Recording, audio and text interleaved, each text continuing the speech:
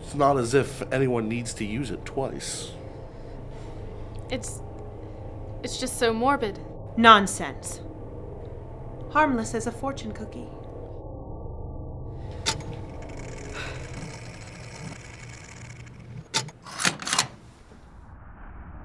Isn't knowing always better than not knowing?